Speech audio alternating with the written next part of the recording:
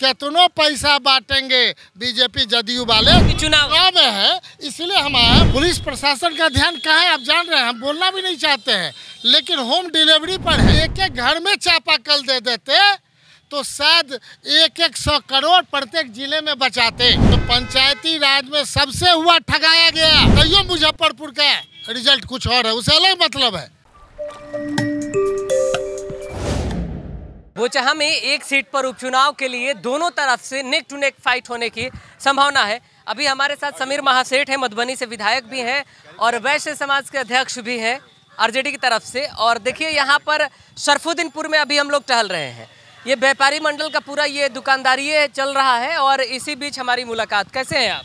संजोग है आपसे, मेरी भेंट हो गई और हमें खुशी है आपसे भेंट हो करके कि अब समाज का चौथा स्तंभ है। हमारे जाने के बाद सभी लोगों से आप पूछेंगे और सही माने में जब मूल्यांकन करेंगे तो पता चलेगा पूरे बिहार में व्यापारियों की जो स्थिति है और उसमें से अलग अलग चर्चा करने करने लेंगे तो एक घंटा से ज़्यादा का होगा। अलग है स्वर्णकार समाज। सैकड़ों हत्या हुई सॉफ्ट टारगेट है क्रिमिनल का। सरकार के संज्ञान में दिया जाता है। पता चलता है कि सरकार का ध्यान ही नहीं। सरकार का ध्यान अन्यत्र है। पुलिस प्रशासन का ध्यान कहाँ है? आप जान रहे हैं, हम बोलना भी नहीं चाहते हैं, लेकिन होम डिलीवरी पर है। पुलिस उधर लगी हुई है तो व्यापारियों पर कहाँ से जाएगा, हमको बता दीजिए। आप बता दीजिए जनरल योजना में पूरे बिहार में क्या हो गया?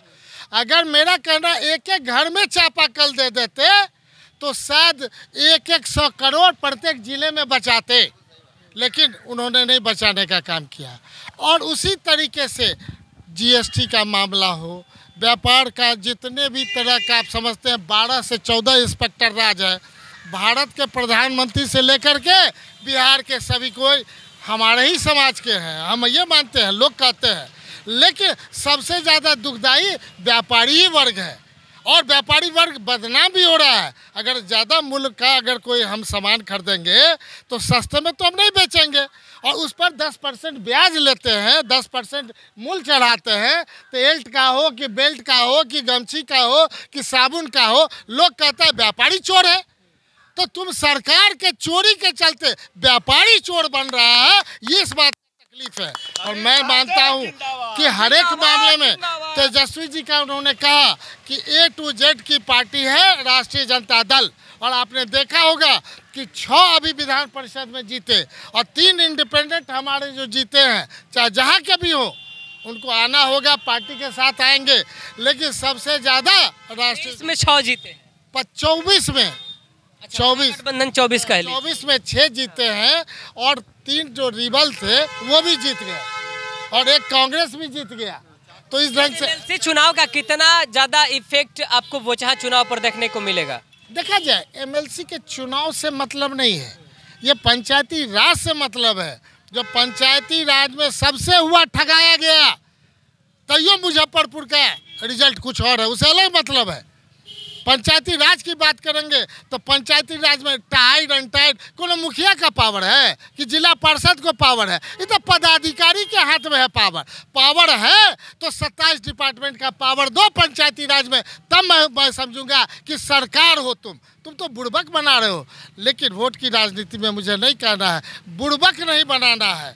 चाहे आप हो, चाहे हम हो। इन मुद्दे के साथ आज आप यहाँ धरातल पर है। यहाँ तो सिर्फ़ और सिर्फ़ व्यापारियों के बीच है राष्ट्रीय जनता दल के अपने चुनाव है। के चलते हैं चुनाव गाँव में है इसलिए हम आए मधुबनी के हम एमएलए हैं हैं और मधुबनी के एमएलए के साथ साथ हम आप मधुबनी से आए हैं साथ में पी के चौधरी जी हैं हैं ऋतु जायसवाल जी भी हैं हर एक लोग का टीम लगा हुआ है लेडीज़ में वो जा रही है पुरुष में हम लोग जा रहे हैं सभी लोग जो पहले बेस क्या मुद्दा मुद्दा क्या लेके जा था कि भारतीय जनता पार्टी का बैस समाज माना जाता था कि उनका वोट है। विनोद जायसवाल मन सिवान से जीत गए मैसेज चला गया कि जायसवाल सूरी कानू कलवार रौनियार छप्पन उपजाति अब बीजेपी को छोड़ रहे हैं और हाँ ये टूट रहा है। तो हम आप जान के चलिए कि हम लोग के आने के बाद टोटल वैस वोट यहाँ का बोचा का जब ट्रांसफ़र लेगा तो ये जीत बीस हज़ार वोट से ज़्यादा का होगा ये हम आपको कहते हैं।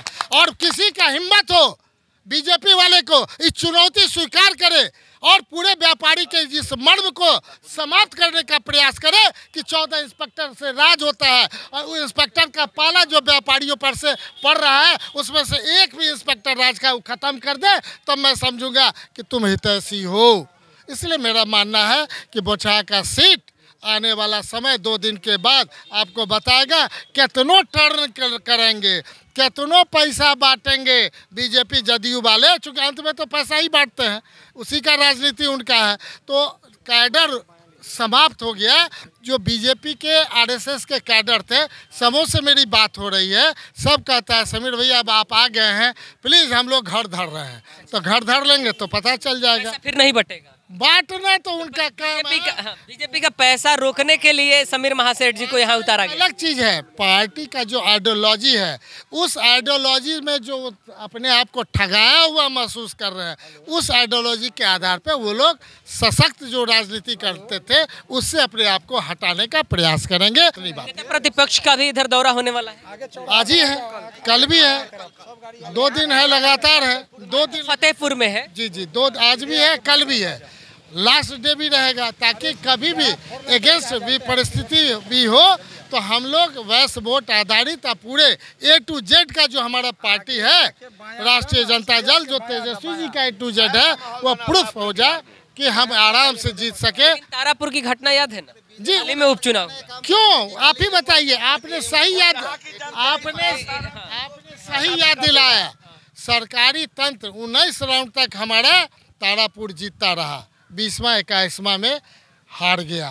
वही बात आपका आज ही आपने बताया और अभी से हम ये बात करेंगे। इतना वोट मार्जिन भूल गए थे। नहीं आप निश्चित तौर पे निश्चित तौर पे क्या करिएगा ये तो स्थिति है, परिस्थिति हर एक दिन दिन होता है, रात होता है। तो अभी लोग भूलते हैं। हमारा वो भूलना नहीं है। यहाँ की जनता को वही बताएँगे, कम मार्जिन से हार जीत होगा तो वही तारापुर की घटना दोहरा देगा। इसलिए पच्चीस हज़ार वोट से ज़्यादा जिताने का प्रयास करो, ताकि वो तारापुर की घटना समीर महासेठ जी को उतार दिया गया है। अब धरातल पर कि वैश्य समाज के वोट को लाइए अब अपने पल्ले में।